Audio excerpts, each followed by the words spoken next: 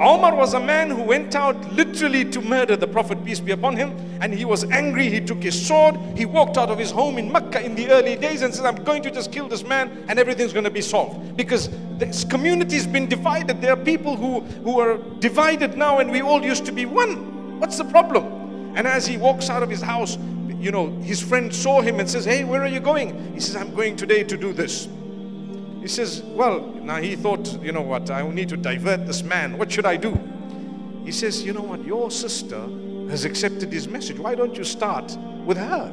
Go and see them. The sister was married to Fatima bint al Khattab, was married to Khabbab ibn al Arat, radiallahu anhu. And so he knocks on the door of his sister and opens the door. And they quickly, they were reading parchments of the Quran. It wasn't printed like we have today little little parchments with a few words of the Quran and verses.